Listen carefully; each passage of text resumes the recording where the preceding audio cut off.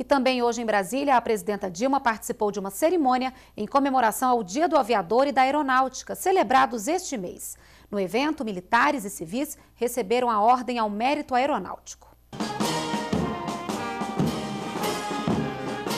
Uma apresentação da banda militar e sobrevoos de aeronaves marcaram a comemoração do Dia do Aviador e da Força Aérea Brasileira.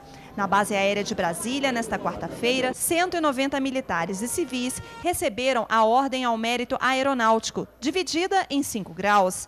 Recebem a medalha pessoas que se destacam pelos serviços prestados ao país. Na cerimônia, a presidenta Dilma Rousseff homenageou os presidentes da Câmara e do Supremo Tribunal Federal, ministros, governadores e deputados federais.